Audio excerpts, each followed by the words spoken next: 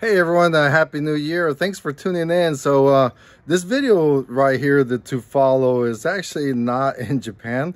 It is in Tequila, Mexico. And uh, so if you have been following us, you know that I have mentioned before that I grew up in Mexico. I'm uh, Mexican American. I was born in the States, but grew up in a very small town named Quila, which is close to Tequila, probably about an hour and a half away or so by dirt road and whatnot. But I just wanted to share this video because I took it when we went there for my niece's um, wedding and I had the opportunity to tour uh, the town of Tequila where they make the, the alcohol tequila.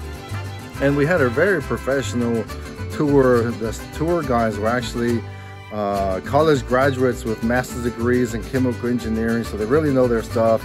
And they did a really good job of explaining uh, the process. And then after that, we went over to the, the top of the hill. We had uh, a really nice uh, uh mill uh, overlooking the agave fields. Agave is what is used, like the cactus that is used to produce tequila.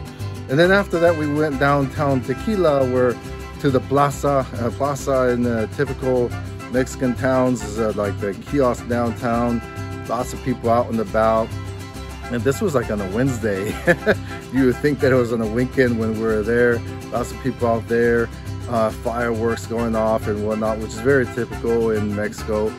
And uh, we were on the hunt for some churros, uh, churros. Uh, and churros seems to be becoming pretty popular in the States and other places here in Japan as well. But I don't care if you get them from Starbucks or wherever, food place, um, you have not had churros, churros, I should say correctly, um, until you had the the street made where they will literally set up a little, they'll set up there in the afternoon and the evening and they will uh, deep fry right there on the street until they run out. Uh, so yeah, please enjoy the video. Uh, however, the uh, audio was not the best during the, the um, presentation because of the distance that I was standing from them, but um, hopefully you get something out of it. So uh, again, this is not uh, Japan. I actually, even though I am in Japan right now in our beautiful home in the countryside, um, but you know, if you have, again, if you have been following us, we like to travel as well. So we like to cover other topics, uh, not just the uh, living in rural Japan and this Akiya renovation or vacant house renovation, uh, which we are now living in. All right, folks, if you like what you see, please hit subscribe, like, and share, and uh, keep following us along. All right, folks, so we are on a trip to Tequila, so we're gonna go ahead and tour a couple distilleries, and uh, we actually got a uh, like a uh, rental tour where we're gonna make a stop here and eat some breakfast, and then there's gonna be lunch and music and some tequila sampling and all kinds of stuff. So yeah, come along and check it out.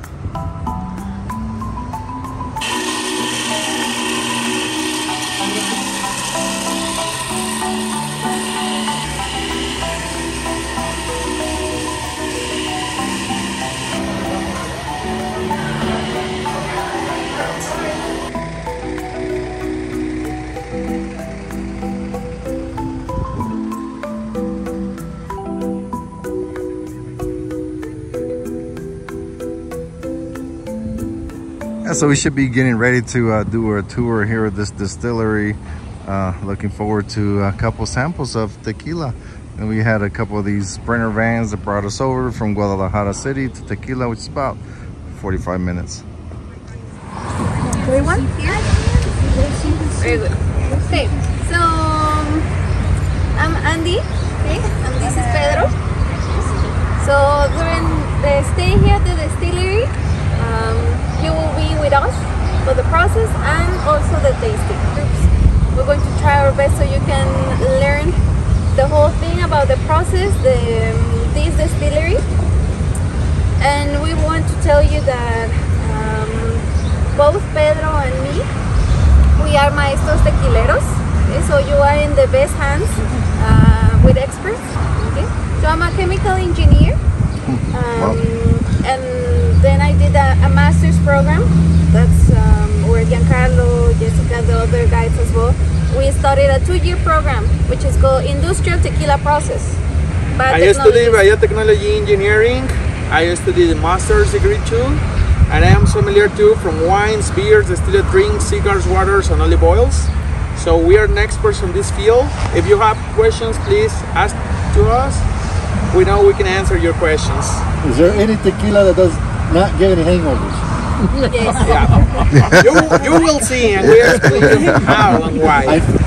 So I'm going to um, explain sort of the, the basic of the agave, okay, the, which is the raw material, the plant that is used to, to produce tequila. What, what is a little bit about the definition? Are you, I don't know if you heard ever of uh, protected denomination of origin, like some cheeses or wines that they have something like that. And the first part of the process, which is cooking the agave, you know, roasting this plant and extracting the juice. So, have you ever heard of other agave spirits different from tequila? Mezcal. Mezcal, okay, yeah, that's another one. So, saying agave spirit is just referring to an alcohol that you got after using a, an agave plant. So, what makes tequila special, what is defined as tequila? We have uh, something that is called protected denomination of origin. The most famous one in the world, I would say, is Champagne. Right? So we have this tiny town in France called Champagne, and the wine that is produced there can be called like that. But if you produce it outside of, of that town, it has a different name. Tequila uh, has uh, a denomination of origin as well, and it was the first Mexican product to ever get one. So that meant that in 1972, te- the word tequila became something protected. So tequila, it is an agave spirit from specifically and only blue agave. Or the full scientific name is Agave Tequilana Weber Blue Bayerli. So we just call it blue agave. Blue agave is one out of 300 different species of agaves. From all these agaves, okay, you can only use one. Uh, that's the first condition. The second condition is what is the region, what is the area where you are going to produce tequila? And that is the state of Jalisco, where we are right now, the whole Jalisco, and little parts of Nayarit, of Michoacan, Guanajuato, and Tamaulipas. So we have the plant, the blue agave. It's a succulent plant. So have I don't know if you saw there's a bunch of agave fields that you can see. It's a crop that is you could say that it's easy and non expensive because it doesn't need to be watered. You just plant it, direct sunlight, only the little rain that it gets, and that's it. What is the complex thing about the agave? That we have to wait a long time. The mature age of, of blue agave it's at seven years. Well, that's ideal, right? But some distilleries that produce not that high quality tequila use younger agave. This distillery where we are right now, it's called Cava de Oro. It's only 23 years old and it's owned by a woman. Okay, so Leticia Hermosillo started all this distillery. She had agave, agave fields before. She was uh, what we call agavera. We have the agaveras and the agaveros, the people that own the agave and sell it. But at a point she decided, okay, I think it's smarter to just use my own agave to produce tequila. So we have all that agave. It's seven years old. It's fully mature, ready to get harvested. Would you say, what do you think, we use a machine or only people? People. People. They're called jimadores. So the amount of agave that gets harvested daily is huge and it's all done by people. It's all done by the jimadores and they use this special tool. This is called the COA. C-O-A. Okay, so we have the leaves, okay? Those are the pencas, so this will be a piece of it, right? So we have to shave the agave and that's why they use this tool. Well, you can go uh, here and flat? try. Yes? Yeah. yeah. Cheater. no, that's the right way. so they, they, they, would normally carry a, a, file to, to sharpen it every time they, they cut it. That's. Don't take too much off.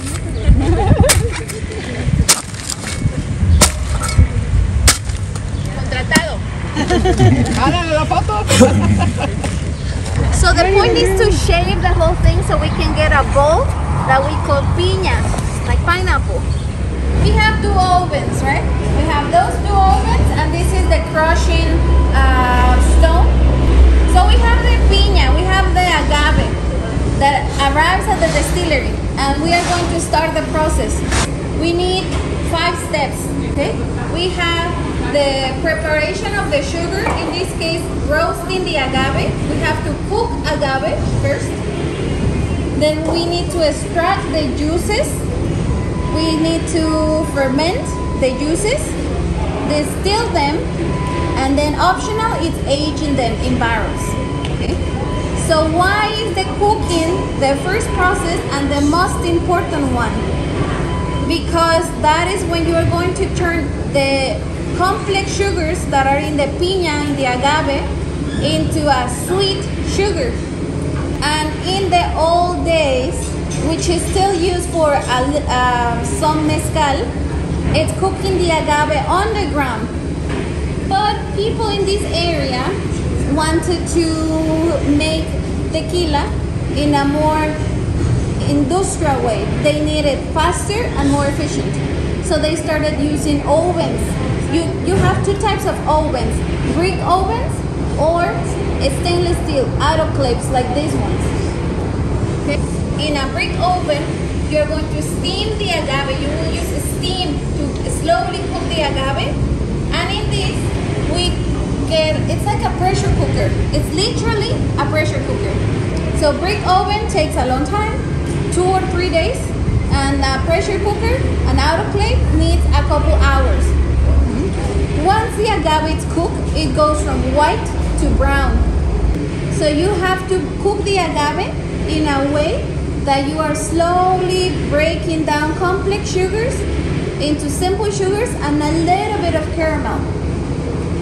And that's going to turn the agave into something sweet and uh, soft.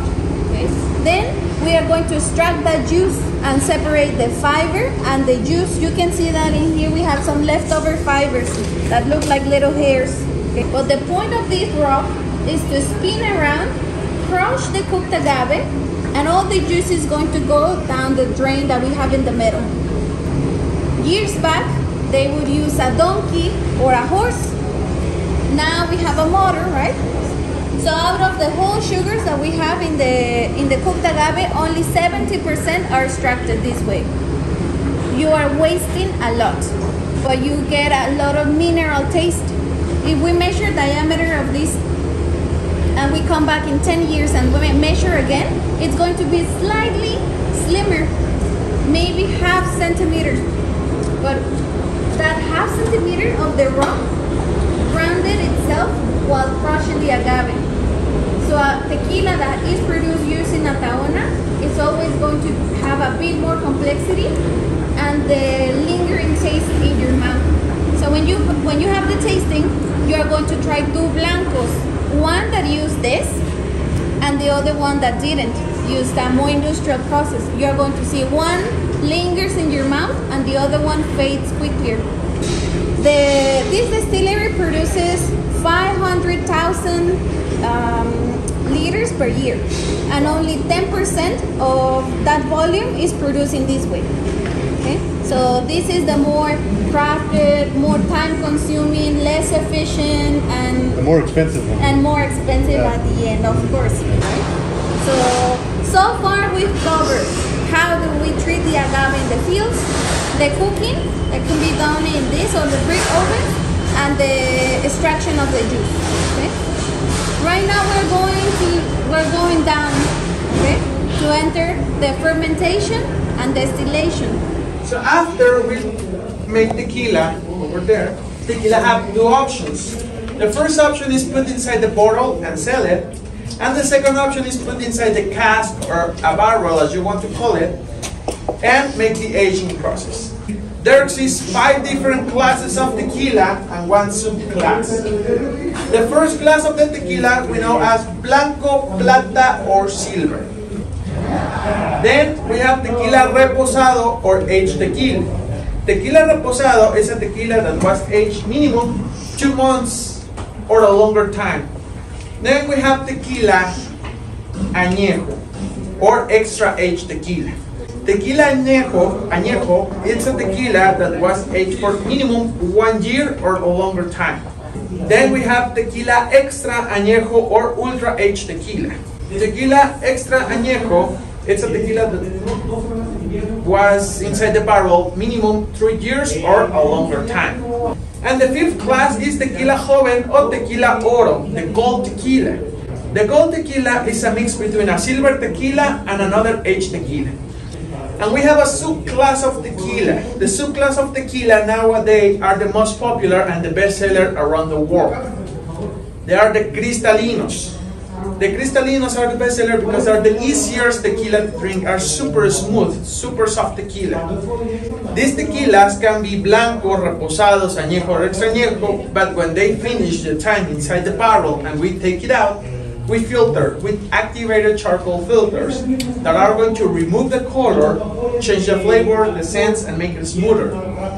So the wood that we are able to use for tequila, the rule says that we are able to use cedar or oak. And we usually use two different type of oaks, American white oak and French oak. All right, so after that awesome tour there in Tequila, so now we're here over here for a uh, quick dinner at La Palapa. And it's a beautiful view of the whole tequila area, all the agave. All this is agave, what they're talking about. It takes seven years to be able to start uh, using that for some good tequila. Welcome to Mexico. Yes. uh, folks, this is Mexico. This is not Puerto Vallarta, Cancun. This is what it's all about. To include the stray dogs.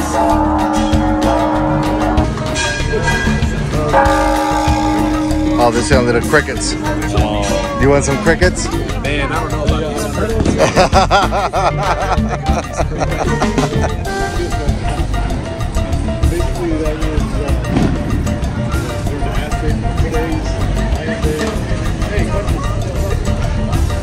Yeah, so this is typical in Mexico in the evenings. Everyone comes out and enjoys the nice weather, uh, family time, get some snacks, some tacos, uh, all kinds of stuff. And this being the town of tequila, so of course lots of tequila.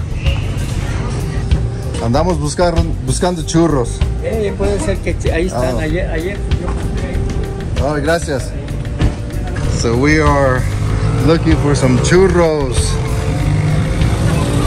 You've never had churros unless you've had the street churros, and hopefully we can find some. Oh, it looks like we might have found some. There are the churros. So they're made on the street, out here on the street. Uh, the batter, deep fried. Como decía, Los, los encontramos. como decía Pepito, mi papá era churrero y Y de así. Chi- Chiste más viejo. mundo. Sorry, it's, it's an old Mexican joke.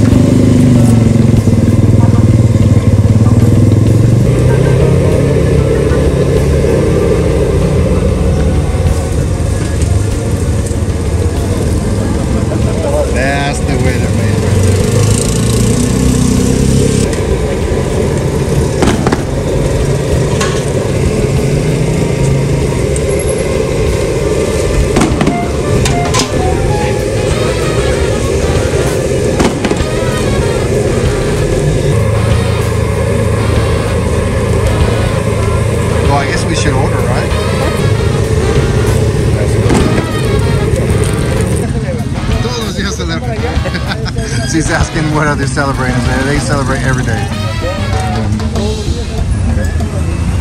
Every day there's a celebration around here.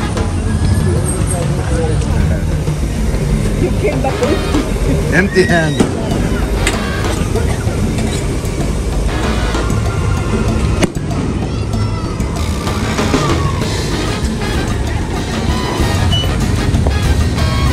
The rolling barrel.